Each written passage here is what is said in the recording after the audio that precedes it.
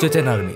চলছে Russia Ukraine যুদ্ধ। সারা বিশ্ব প্রতিদিন আতঙ্কে প্রহর গুনছে। এর মধ্যে আল্লাহ আকবর প্রতিধ্বনিতে রাশিয়ার পক্ষে যুদ্ধে নামা এরা কারা? রাশিয়া ইউক্রেন যুদ্ধে কেন এই মুসলমান সৈন্যরা সারা বিশ্বের মাথা ব্যথার কারণ হয়ে দাঁড়িয়েছে? এমন প্রশ্ন নিশ্চয়ই আপনার মাথায় এসেছে। অথবা আপনি হয়তো এতটুকু জানেন যে এরা চেচেন আর্মি, যারা রাশিয়ার পক্ষে ইউক্রেন যুদ্ধে নেমেছে। কিন্তু আপনি কি জানেন? এই চেচেন আর্মিদেরই বলা হয় বিশ্বের সব থেকে রুথলেস আর্মি সব থেকে বিধ্বংসী আর্মি এই চেচেন আর্মি প্রধানকে ধরা হয় এই মুহূর্তে সারা বিশ্বের মধ্যে সব থেকে ভয়াবহ ওয়ার্ল্ড হিসেবে। পুতিন যে গত বারো বছরে কোনো যুদ্ধে হারেনি, তার অন্যতম কারণ এই চেচেন আর্মিরা সিরিয়াতে আমেরিকাকে চ্যালেঞ্জ করে বিধ্বংসী হামলা নামে রাশিয়া করলেও ফিল্ডে মূল কাজটি করেছে এই মুসলিম চেচেন আর্মিরা প্রশ্ন হচ্ছে, কারা এই চেচেন আর্মি? কি এদের ইতিহাস? মুসলমান সত্তাই বা কীভাবে জড়িত এদের সাথে? রাশিয়ার মধ্যে এক টুকরো চেচনিয়া কীভাবে এখনও সদর্পে কট্টর মুসলিম দেশ হিসেবে গর্বের সাথে টিকে আছে? পুতিনের সাথেই বা কি সম্পর্ক এদের? কে এই কুখ্যাত ওয়ার্ল্ড রমজান? সেই সাথে চেচেনদের সামরিক শক্তি এবং অন্যান্য অজানা সব তথ্য নিয়ে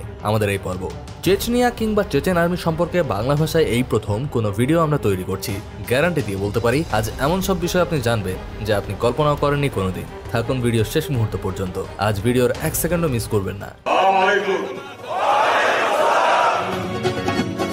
সহজ ভাষায় যদি বলি, ভারত দেশটা যত বড়, এমন পাঁচটা, ছয়টা ভারত এক জায়গাতে করলে একটা রাশিয়া। সোভিয়েত ইউনিয়ন ভাঙার সময় অনেক দেশ ভেঙে স্বাধীন হওয়াতে আমরা বহু ভিন্ন ভিন্ন দেশ পেয়েছি। নতুবা রাশিয়াকে আরও অনেক বড় দেখাতো। এই এলাকাতে বহু শত বছর পূর্বে মুসলমানদের বাস ছিল। এই সোভিয়েত মুসলমানেরা কালের বিবর্তনে একটি গোষ্ঠী আকারে এই এলাকায় বসবাস করতে শুরু করে। রাশিয়ার মূল ভূখণ্ডের অভ্যন্তরে এই গোষ্ঠীকে চেসনিয়া নাম দেওয়া হয়। অনেকেই চেসনিয়াকে স্বাধীন রাষ্ট্র ধারণা করলেও এরা স্বাধীন রাষ্ট্র নয়, রাশিয়ার একটা প্রদেশ। যেমন ধরা যাক কলকাতা, ইন্ডিয়ার একটা প্রদেশ। পুরো রাশিয়ায় একমাত্র চেচনিয়াতেই মুসলমানদের বসবাস ছিল। উনিশশো চুরানব্বই সালে চেচনিয়া স্বাধীন রাষ্ট্রের জন্য বিদ্রোহ করে বসে রাশিয়ার বিরুদ্ধে। তারা আর রাশিয়ার সাথে থাকবে না। চেচনিয়া এই যুদ্ধে রাশিয়ার সাথে হেরে যায় এবং বিদ্রোহ ব্যর্থ হয়। ভ্লাদিমির পুতিন তখনও ক্ষমতায় আসেননি। চেচনিয়ার সংকট বাড়তেই থাকে রাশিয়ায়। কারণ এই চেচেন মুসলমানেরা মোটেই অন্য দেশের মুসলমানদের মতো নয়। এরা যেমন শক্তিশালী, তেমন শিক্ষিত। সেই সাথে রণকৌশলেও ভালো। সর্বোপরি এরা কিন্তু রুশ মুসলমানই। উনিশশো নিরানব্বই সালে আবার চেচনিয়া বিদ্রোহ করে বসে রাশিয়ার বিরুদ্ধে। স্বাধীন রাষ্ট্র হবার লড়াই। এবার চেচনিয়া বিপুল সংঘাতের জন্ম দেয়। প্রায় একশো এর উপরে রাশিয়ার নাগরিককে মেরে ফেলে চেচেন বিদ্রোহীরা। এর জবাবে রাশিয়া তার সমগ্র শক্তি ব্যবহার করে চেসনিয়ার বিদ্রোহ ব্যর্থ করে, একেবারে গুঁড়িয়ে দেয় চেসনিয়ার রাজধানী শহর। শেষ পর্যন্ত রাশিয়ার সাথে আবারও হেরে যায় চেসনিয়া। ভ্লাদিমির পুতিন তখন রাশিয়ার ক্ষমতায় এসে পড়েছেন। এই চলমান সংকট নিরসনে পুতিন আকমত কাদিরভকে চেসনিয়ার নতুন প্রেসিডেন্ট হিসেবে ঘোষণা করে এবং চেসনিয়ার সাথে শান্তি চুক্তি হয় রাশিয়ার। চেসনিয়া রাশিয়ার অভ্যন্তরেই শান্তিতে বসবাস করবে। অন্য আরেকজন রাশিয়ান নাগরিকের মতো সকল সুযোগ সুবিধা পাবে চেসনিয়ার নাগরিক। চেসনিয়ার বাজেট এবং উন্নয়ন বাবদ সকল দায়িত্ব রাশিয়া পালন করবে। এরপর পরই চেসনিয়াতে নতুন করে শান্তি ফিরে আসে এবং নতুন করে দেশটাকে সাজানো হয়। কিন্তু দু হাজার চার সালে প্রেসিডেন্ট আকমদকে গুপ্ত হত্যা করে মেরে ফেলে চেসনিয়ান বিদ্রোহী দল। এই ঘটনার সাথে সাথে পুতিন এমন একজন মানুষকে ডাকেন যিনি আমাদের আজকের ভিডিওর মূল আকর্ষণ, যাকে বলা হচ্ছে বিশ্বের সব থেকে খতরনাক ওয়ার্লড বিধ্বংসী চেচেন আর্মির প্রধান। তিনি রমজান কাদিরভ রমজান মূলত আকমত কাদিরভের ছেলে। বাবার হত্যার পরে চেসনিয়ার প্রেসিডেন্ট হিসেবে নিয়োগ পান রমজান। রমজান ছিল ব্ল্যাক বেল্ট জুডো কিং চেসনিয়ার ডিফেন্স হেড, যার নামে শত শত গুমখনের মামলা পর্যন্ত ছিল। পুতিন তারপরও রমজানকেই বেছে নেন। রাতারাতি চেসনিয়ায় যত বিদ্রোহী মুসলমান সংগঠন অবশিষ্ট ছিল, এদের গুম করে ফেলা হয় এবং চেসনিয়া নতুন সাজে সাজতে শুরু করে। চেসনিয়ার বাজেটের আশি শতাংশ ব্যয়ভার রাশিয়া বহন করত। সেই সাথে রিয়েল এস্টেট ব্যবসায় চেসনিয়া বিশাল লাভের মুখ দেখে। রমজান, চেচেন আর্মির বাইরেও সম্পূর্ণ নিজের নামে মিলিশিয়া বাহিনী গড়ে তোলেন, যাদের ডাকা হয় কাদিরাভৎসি। রাশিয়ান বাজেটের বিশাল একটা টাকা চেচেন আর্মি গঠনে খরচ হতে শুরু হলো। চেচেন আর্মিদের তৈরি করা হলো রুসলেস কমান্ডো হিসেবে। চেচনিয়ায় শান্তি ফিরে এলো আক্ষরিক অর্থে।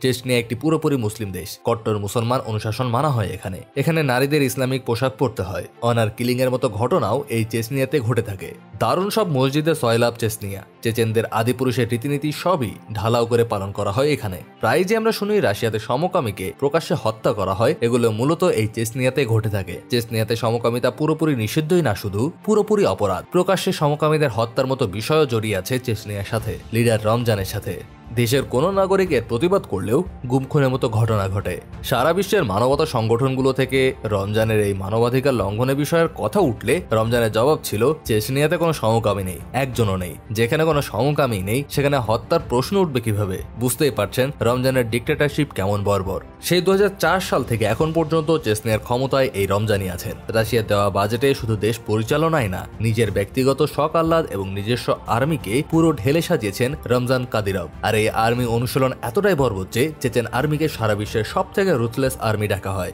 কোনো যুদ্ধ গিয়ে নির্মম ক্ষয়ক্ষতির বিচারে চেচেন আর্মিরা সব থেকে এগিয়ে। কিন্তু মজার ব্যাপার হচ্ছে চেচেন আর্মি প্রধান এই রমজান একজন সেলিব্রিটি ইনস্টাগ্রামে তার মিলিয়ন মিলিয়ন ফলোয়ার সারা দিন রাত তাকে বিভিন্ন পশু পাখির সাথে ফান করতে দেখা যায়। দেখা যায় জুডো প্র্যাকটিস করতে বন্ধু বান্ধব নিয়ে স্নোবল খেলতে, কখনো বা নির্ভেজাল ফ্যামিলি গাই হিসেবে ফান করতে, নামাজ পড়তে বা সাইকেল চালাতে। চেচনিয়ার মোট জনসংখ্যার থেকে রমজানের ফলোয়ার পাঁচ ছয় গুণ বেশি। কিন্তু এসবের আড়ালে রমজান যে কতটা ভয়ঙ্কর, বর্বর, সেটা একটু গভীরে না গেলে আপনি বুঝতে পারবেন না। দু হাজার সতেরো সালে রমজানকে সারা বিশ্বের সব থেকে খতরনাক ওয়ার্ল্ড হিসেবে ঘোষণা করা হয় এবং মোস্ট ওয়ান্টেড ওয়ার ক্রিমিনাল হিসেবে চিহ্নিত করা হয়। যে কারণে ফেসবুক ইউটিউব এবং ইনস্টাগ্রাম থেকে রমজানকে ব্যান করা হয়। রমজান রাশিয়ার বাইরে কোনো দেশে যেতে পারবে না। সেটার অবশ্য প্রয়োজনও নেই তার। রমজান দিব্যি বেলারুশের প্রেসিডেন্টের খামারে গিয়ে স্ট্রবেরি তুলছেন। পুতিনের ছবি দিয়ে টি শার্ট পরে রাশিয়া এসে জন্মদিন পালন করছেন। সারা বিশ্বের সব সেলিব্রিটিকে ডেকে নিয়ে জন্মদিন পালন করছেন, কখনো নাচছেন, কখনো সাপ ধরছেন, সিংহ কোলে নিয়ে ঘুরছেন। রমজানে কাজ হচ্ছে চেসনিয়াতে শান্তি সমৃদ্ধি বৃদ্ধি করা আর পুতিনের প্রতি অনুগত থাকা। সিরিয়ায় রাশিয়া আক্রমণ করবে, সেখানে রুশ সেনাদের জীবনাশের প্রয়োজন নেই। পুতিন পাঠাচ্ছে চেচেন আর্মিদের। চেচেন আর্মিরা গিয়ে বর্বরতা চালিয়ে যাচ্ছে রাশিয়ার পক্ষ হয়ে। আল্লাহ আকবর ধ্বনি দিয়ে বারো হাজার সৈন্য নিয়ে চেচেন আর্মি এখন ইউক্রেনে অবস্থান করছে। এরা সবাই ফ্রন্ট লাইনার সৈনিক। যেমন সাহসী, তেমন বিধ্বংসী। চেচনিয়া রাশিয়া যুদ্ধের সময় প্রচলিত ছিল। একজন চেচের আর্মি, দশজন রুশ আর্মির সমান। এতটাই সামর্থ্যবান এদের সক্ষমতা। হলিউডের বিভিন্ন সিনেমায় চেচেন আর্মিদের বিষয় উঠে এসেছে। তবে বুঝতেই পারছেন, সেগুলো ভিলেন হিসেবে, স্রেফ কল্পকাহিনী হিসেবে। হলিউড যেমন দেখায় আর কি। বাস্তবেও চেচেন আর্মিদের সম্পর্কে আপনি অনেক তথ্য পাবেন না। যতটুকু অনলাইনে পাওয়া সম্ভব, তার পুরোটা ঘেটে এই ভিডিও দিলাম। তাদের মোট সৈন্য সংখ্যা কত তারা কি কি অস্ত্র ইউজ করে, এমন কোনো তথ্যই আপনি পাবেন না কোথাও। ভিডিও ফুটেজ তো বহুত পরের কথা। তবে এতটুকু নিশ্চিত করে বলা যায় চেচেন আর্মিরা পুরো রাশিয়ার ডিফেন্স সোর্সই ইউজ করতে পারে প্রয়োজনে। সেক্ষেত্রে এরা কতটা ভয়ঙ্কর উঠতে পারে, সেটা তো বোঝাই যায়। এখানে মনে হতে পারে পুতিন বুঝি চেচেন আর্মিদের ব্যবহার করে ফায়দা লুটছেন। সেটা তো অবশ্যই। একই সাথে চেচনিয়া বিদ্রোহ পুতিন যেভাবে ডিল করেছেন, সেভাবে আর কে পেরেছে? আফগানিস্তান হোক, ইরাক হোক, ইরান হোক কিংবা লিবিয়া, আমেরিকা এসব দেশে বছরের পর বছর অশান্তি করেই গেছে শান্তি প্রতিষ্ঠান নামে। ঝামেলা কেবল বেড়েছে। সেই তুলনায় চেচনিয়া সংকট বহু আগেই পুতিন নিজের মতো করে গুছিয়ে নিয়েছেন। সরকারিভাবে সেসব মিলিশিয়া বাহিনী এখন পুতিনের সাথে লড়ছে কাঁধে কাঁধ মিলিয়ে। নেতৃত্বে বিচক্ষণতত্ত্ব বলে একেই। পুতিন সেরা, চেচেন আর্মি সেরা কিংবা রমজান কাদিরভকে হিরো বানাতে এই ভিডিও নয়। ব্যক্তিগতভাবে আমার কাছেও চেচেন আর্মিরা বিশেষ আগ্রহের কারণ ছিল। নিজের ক্ষুধা থেকে চেচেন আর্মি সম্পর্কে যতটুকু জানতে পেরেছি, সন্তুষ্ট হয়েছি। ততটুকু নিজের মতো করে আপনাদের সামনে উপস্থাপন করলাম। মতামত জানাতে ভুলবেন না, কেমন হয়েছে এই পর্ব? ভিডিওটি ভালো লাগলে শেয়ার করার অনুরোধ থাকবে। আর চ্যানেলে নতুন হলে অবশ্যই সাবস্ক্রাইব করতে ভুলবেন না। বিদায় নিচ্ছে এই পর্ব থেকে। দেখা হবে পরবর্তী কোনো ভিডিওতে। ধন্যবাদ।